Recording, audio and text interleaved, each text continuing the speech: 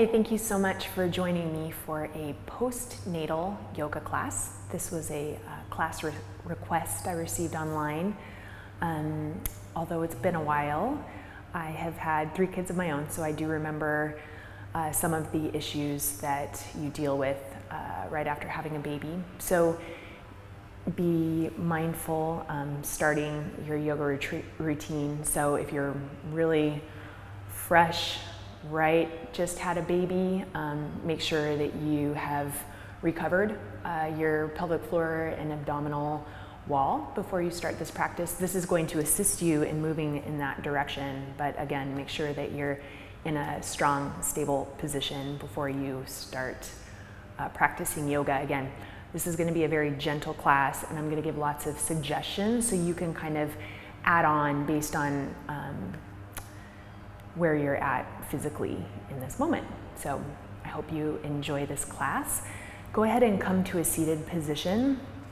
So of course, after having a baby, one thing that's really nice is for you to be able to take some time for yourself. So even if it's just some breaths seated uh, in, in a quiet space, um, that's a great place to start. So let's do that now. So comfortable position, whatever that looks like for you in the legs, you can always support yourself on a, on a pillow or a block if this, the hips are tight. Find a tall spine, reach up through the crown of your head so you're lengthened and your shoulders are over your hips and just close your, close your eyes. And right away, just check in with the quality of your breath.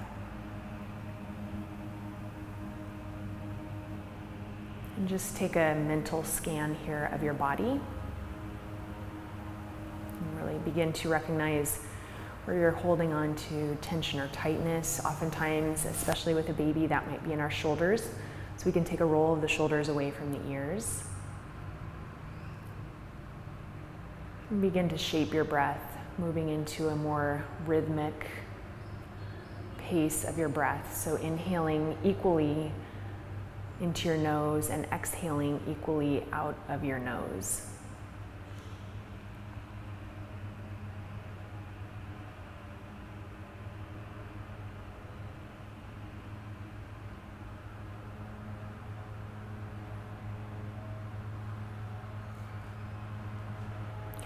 While we settle into our space and work into our breath, let's just take some time here to um, focus in on our pelvic floor. So our root lock right at the base um, of our spine, we want to begin to engage that. This can also be very challenging after having a baby, so we're kind of working towards strengthening these mu muscles in our pelvic floor.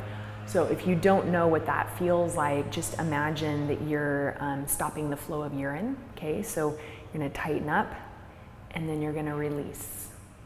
And just continue to do this and see if you can take about 20 repetitions of this exercise. Okay, so we really, again, want to strengthen our pelvic floor even before we begin to strengthen our abdominal wall. But this is going to assist us in that direction.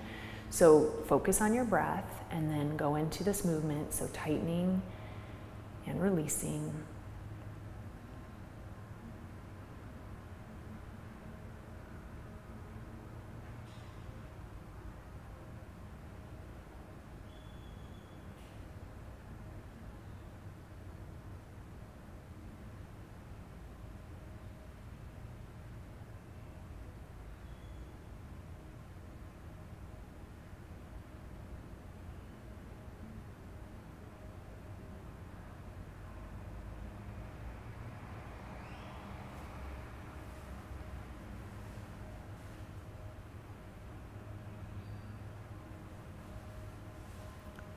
If your legs are crossed, you can go ahead and switch out the cross of your legs. We're gonna be here just for a little while longer. If you're really working into your pelvic floor movements and you feel like that's enough and you're done, just sit again in silence and listen to your breath. Otherwise, we'll take about 10 more here.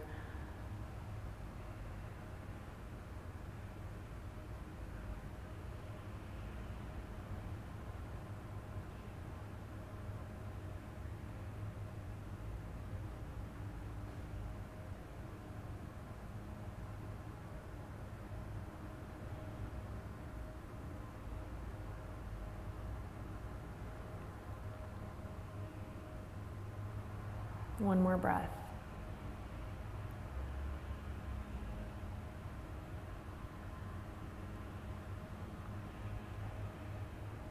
Let's begin to stretch our neck and our shoulders.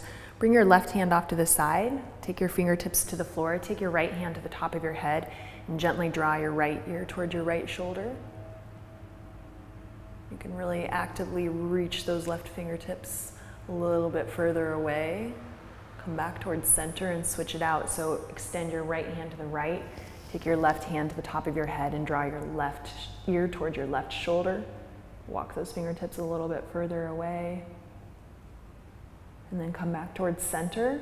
And then just take both hands to the floor and just a slight jut of your chin forward and then toward your sternum. So you're gonna get a really big stretch through your, the back of your neck and your upper back.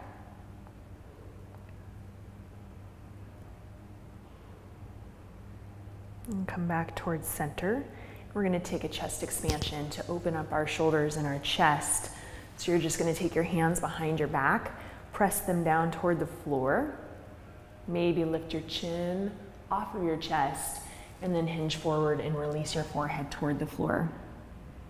So if you're pretty tight, th this might look today just like this for you. That's fine. Okay, just working in that direction.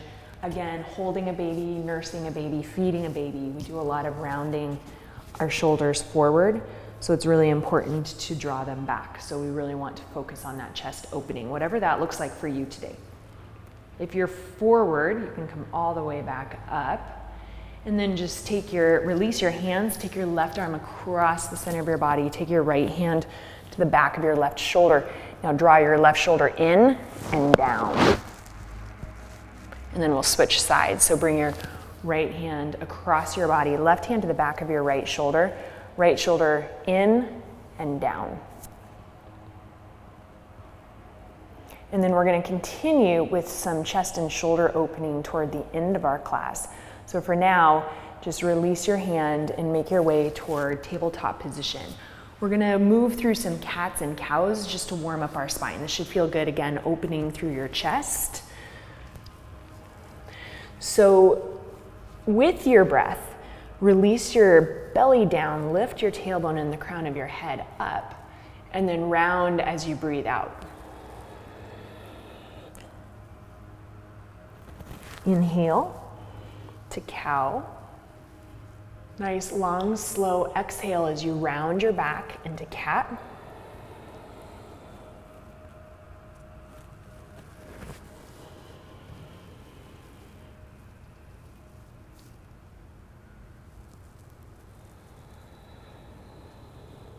One more of each. Breathe in.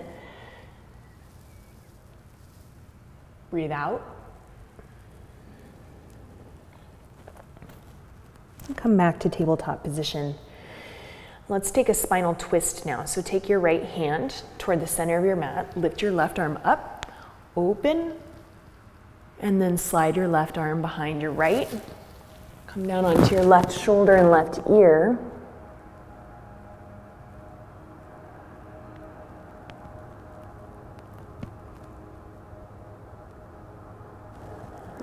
On your next breath in, reach your left arm up and then let's open the chest again. So take your left hand toward your right hip, roll your left shoulder open.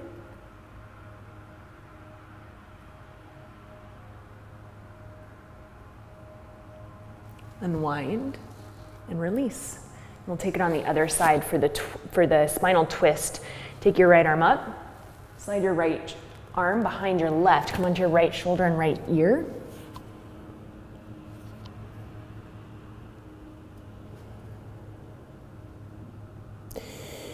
And then on your next breath in, unwind.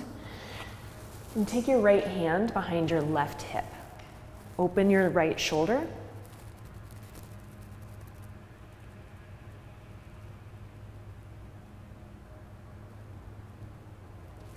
Unwind. Release, tabletop position. Let's take a hip stretch here. So bring your knees wide on your mat, touch your big toes. Take your hips toward your heels and walk your hands forward. Rest your forehead on the mat. Listen to your breath. Inhale through your nose. Exhale, let it go. Breathe in. And of course, you can go at your own pace, but see if you can hear your breath here. So sometimes parenting early on, well, parenting all the time, can be um, a little bit stressful or challenging in moments. If you can access your breath and slow it down and regulate it, it's going to bring you a greater sense of calm and ease in the moment. So, this is a great place to practice, especially because you can hear your breath.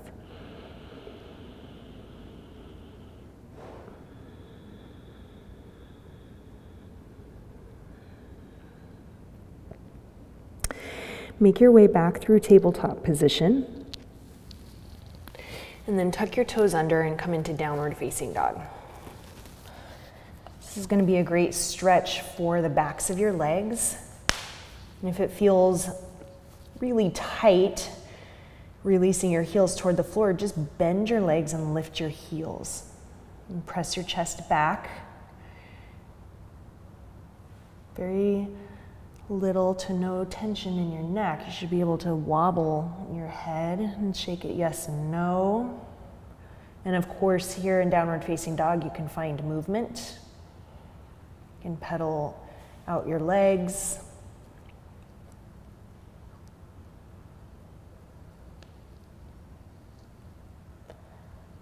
So, as you take this time for yourself, just ask yourself what your body needs in this moment.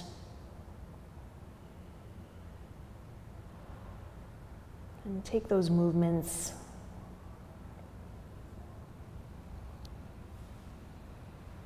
Really connecting back into your body. Take one more breath. Bring your feet to touch. Lift your right leg high. Let's open the hip and bend the leg. So, stretching through your entire right side. Lift your right knee higher. Keep equal weight in both hands.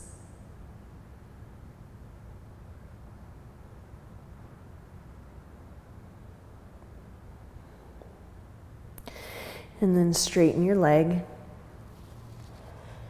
square off your hips, and release downward facing dog. But bring your feet together in this variation of down dog. And we're going to take it on the other side. So lift your left leg, open your hip, bend your leg. Left knee lifts high, left toes reach toward the floor. Equal weight in both hands. Breathe in. Breathe out.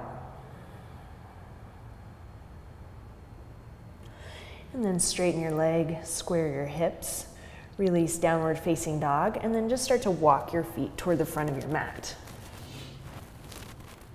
Come into ragdoll, so rest your torso on your thighs, take opposite hand toward opposite elbow, and then gently sway side to side. You can bend and straighten your legs so we're slowly working into a more active hamstring stretch.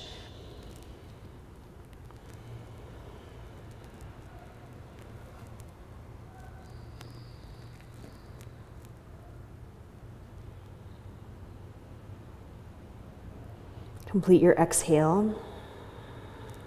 And then heel toe your feet together, release your hands to the floor, roll up to standing.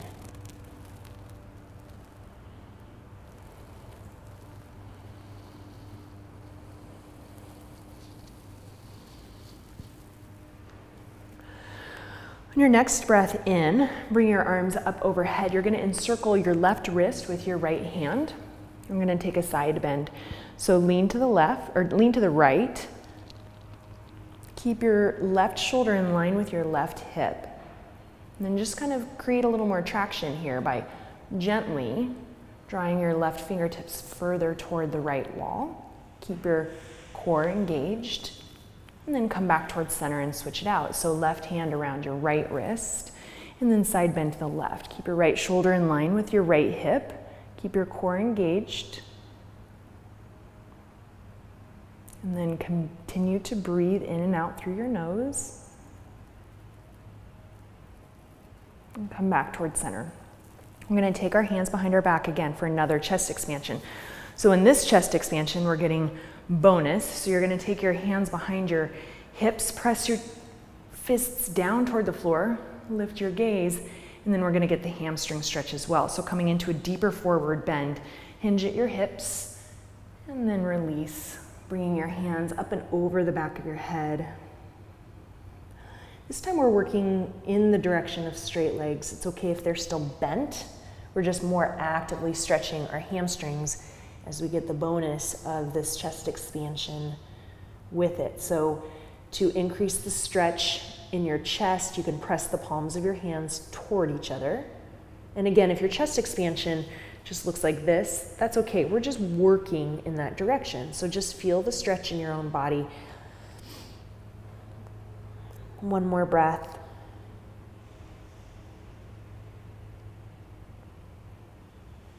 And then come all the way back up, releasing your hands on the way. Reach your arms up.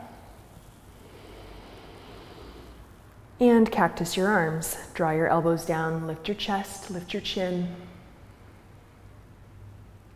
Inhale. And then bring your hands to your heart. Anjali Mudra. Close your eyes, take three breaths.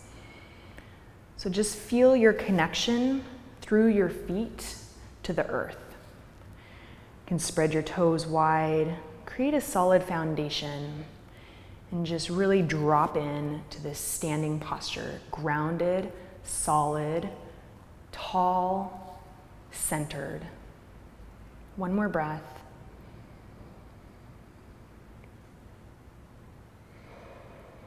And just let your breath bring you to the present moment. Open your eyes. Keep your right foot toward the front of your mat, your heel in line with your toes, and then just step your left foot back. Okay, so again, postpartum, we're starting to build stamina and strength again. And um, Warrior Two is usually a nice accessible pose for most people. So go ahead and make your way into Warrior Two. You're gonna want your left heel angled back and then sink into your front leg. Your hips and shoulders are open to the side. Extend your arms long. And then you can take a soft gaze out over your front fingertips. We're gonna hold this pose. So again, working toward strengthening our legs and bring your awareness again to your pelvic floor. So draw up and in on your root lock and then engage your core center. So draw your belly button back towards your spine. And then find that one pointed focus right across your fingertips. You can even let your, your gaze kind of blur and soften. And can you find that equal balance of effort and ease here? So staying engaged in your legs, but softening your face, softening your breath.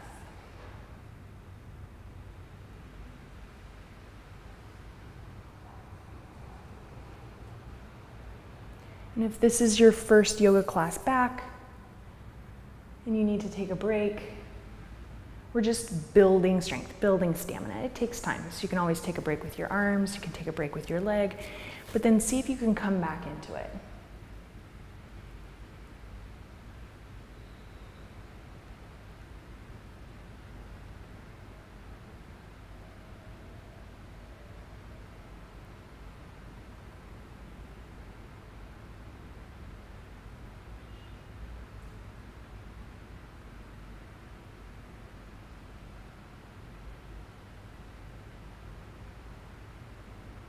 Can you commit to the pose for three more breaths?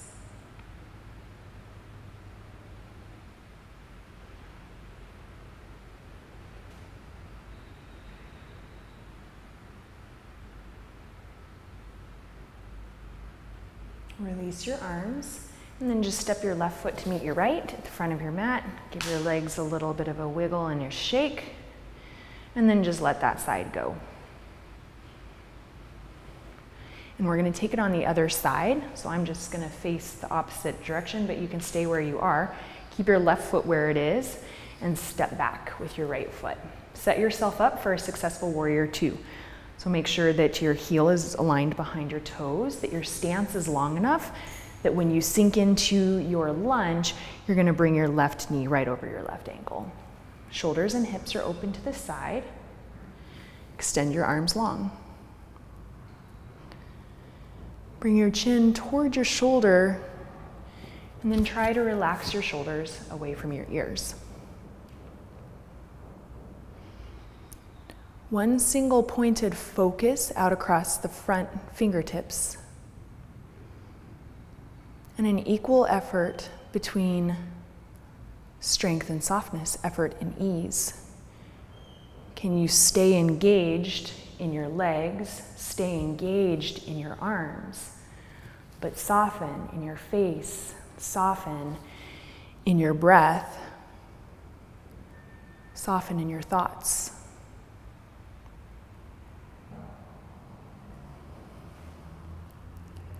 We're building strength, we're building stamina. So be kind to yourself, take a break where it's needed. And if you continue to practice and you hold this pose longer each time, the strength will come and the stamina will come.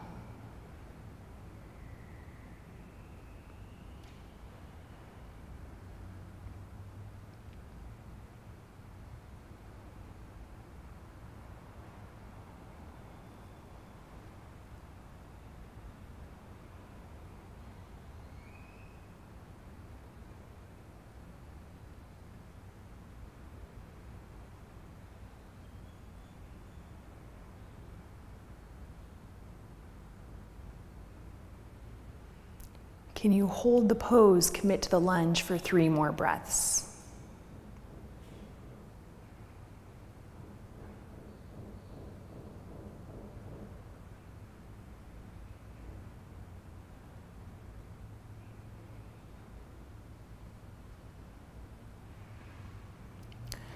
All right, step your right foot to meet your left at the front of your mat. Give your legs, your ankles, your hips, a little bit of a shake and a wiggle. And then on your next deep breath in, lift your arms up overhead. Cactus your arms again, opening through your chest. Breathe in, lift your arms up. And this time we're gonna hinge at our hips, reach our arms off to the side, and come into a forward fold.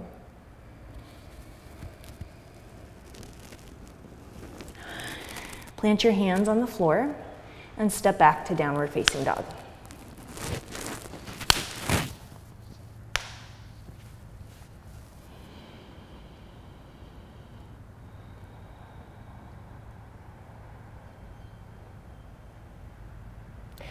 Come down onto your knees, cross over your ankles. And then we're gonna make our way onto our backs. So we're gonna do a little bit of core work and again, if you are right um, fresh after having your baby, it's probably best to wait at least uh, six weeks until you get pretty active in the core, unless you had a really strong practice going in, um, and then probably like eight weeks for a C-section. But we're gonna do really gentle pelvic tilts. So come onto your back.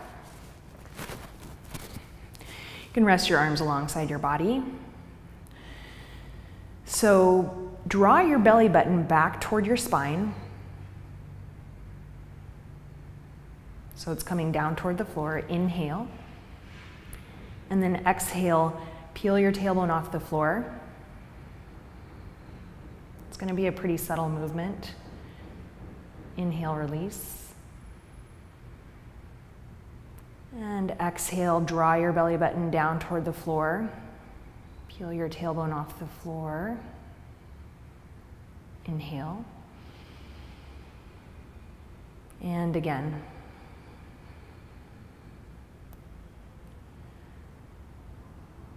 So keep, continue to breathe and then rock your pelvis. And again, you're not going to see a lot, it's very subtle, but hopefully you're feeling it. And this is a gentle way to begin to strengthen your core again. Now, bring your awareness and your attention to your root lock again. Might be a little bit challenging to focus on both, but if you can, continue to draw up and in on your pelvic floor. And again, we want a strong pelvic floor as we begin to engage our core again.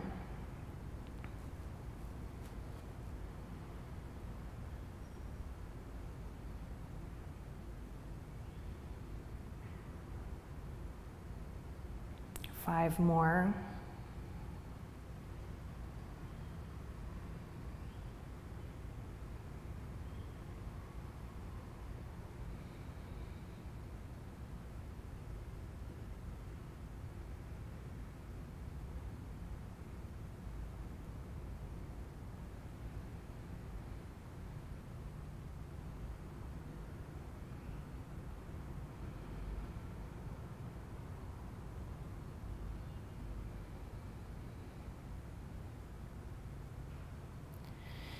And Let your knees fall toward one another. And again, this is your practice. So if you want to, if you're at a place where you can up level your core work, of course, feel free to do that. This is just kind of guiding you from um, just the bringing your yoga practice back to life after having a baby. Take another breath. And then draw your knees into your chest. Rock the length of your spine and come up to a seat. I'm going to take another um, chest and shoulder opener, which is great if, again, we're holding baby, nursing baby, feeding baby, or carrying car seat. I did a, quite a number on my own body carrying my three kids in car seats on both sides. So it's really important that we stay open. We're gonna do cow face pose. So you can add the hips to it if you'd like. I'm gonna guide you through that. For the hips, you're just gonna take your left knee on bottom, right knee on top. We're working towards stacking the knees. Keep both sitting bones grounded on the floor. Otherwise, you can take a comfortable seat, whatever works for you right now. And then for the, our arms, we're gonna take our right arm up and over, our left arm behind for the clasp. Only take the clasp if you can keep your head in line with your spine. So if this is not accessible to you yet, take your left hand to the top of your right elbow. Or if you have a strap or something similar available to you, you can always hold on to a strap behind your back and start to work your hands towards one another.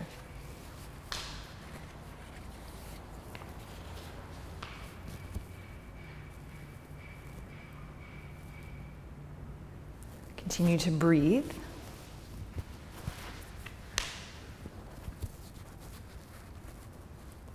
Maybe close your eyes.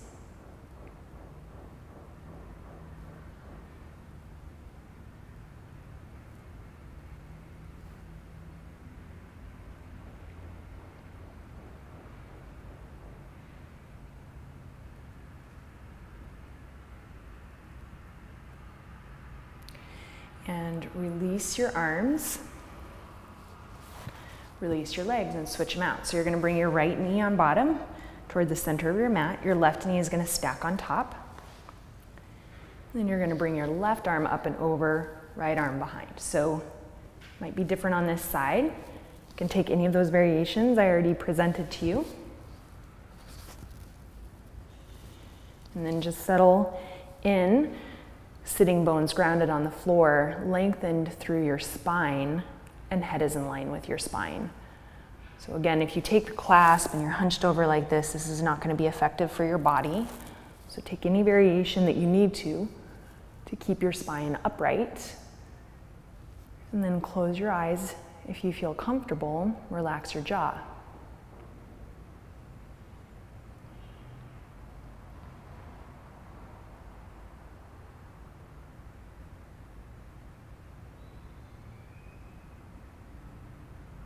And take another breath.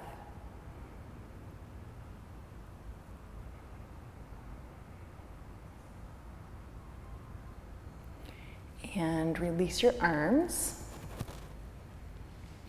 Release your legs and come into butterfly pose for a hip stretch. So bring the soles of your feet together. Bring your hands around your ankles, sit upright, and then keeping your spine upright and long, start to hinge forward, taking your elbows towards your knees and reaching the crown of your head forward.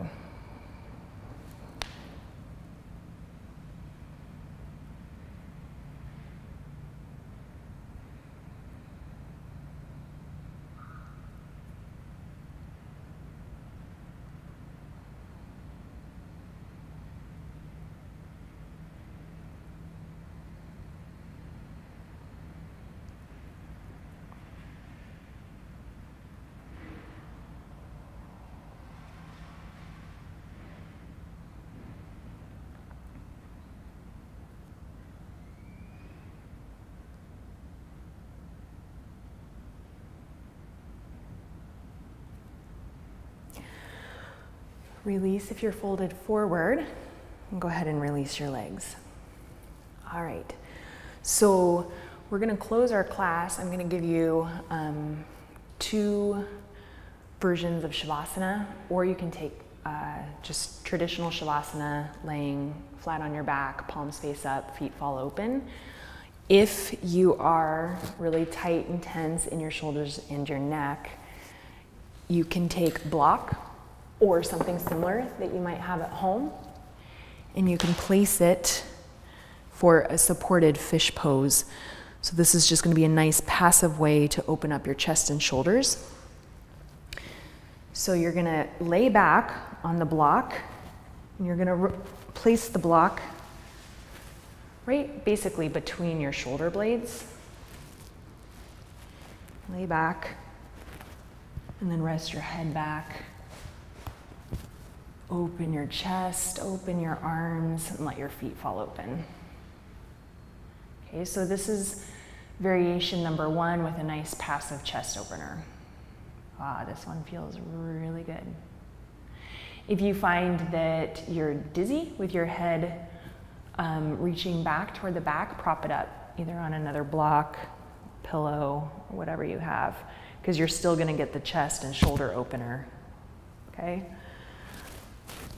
And then last variation, which is the one I most highly recommend because it's very, very restorative and helping um, will assist you in relaxing before bedtime. So if you can actually practice this before bedtime, um, even on your bed, if you have a space for it, we're gonna take legs up the wall pose. So legs up the wall pose is also an inversion and it reverses the flow of blood and uh, really calms the nervous system and the heart. So for legs up the wall pose, you're gonna obviously need a wall. You just bring your mat to the wall and you're gonna bring your hips to the wall first in order to get into legs up the wall pose. So you'll just bump them up against the wall and then you're gonna lay down on your back and reach your feet straight up. So you can just relax the weight of your heels against the wall and you can relax your arms alongside your body. Now, again, make this pose super comfy and relaxing. So you can prop a pillow underneath your hips if that feels good. You can bend your legs if that feels more restorative. If you're super flexy and it feels really good to you and you want to add in an inner thigh stretch, you can straddle your legs so this feels good to me, but this might not feel good to everybody. If it feels like any sort of stress or strain, don't take this variation. Because we're focused more on the restorative aspect of the pose, not on the stretch aspect. But that's just another option for you. So settle into your variation of Shavasana. And I know that it's hard to take this time for yourself with probably a list of things to do, but this is one of the most important times of your yoga practice. So if you can, do some movement, do some breath work, but then take those final moments to lay in stillness and in quiet. And in Shavasana, in any variation of your Shavasana, let go of your breath too. So, no more breath work. It's supposed to be completely restorative, rejuvenating, and restful. So, no tension, nothing to do, nothing to think about, nothing to focus on. Just try to be present in this moment, in this space that you've taken for yourself. And just be an observer of your thoughts. Be an observer of your physical body and of your energy. Maybe just take a moment to recognize the difference that you feel after taking some time for yourself, after stretching your body, after strengthening your body.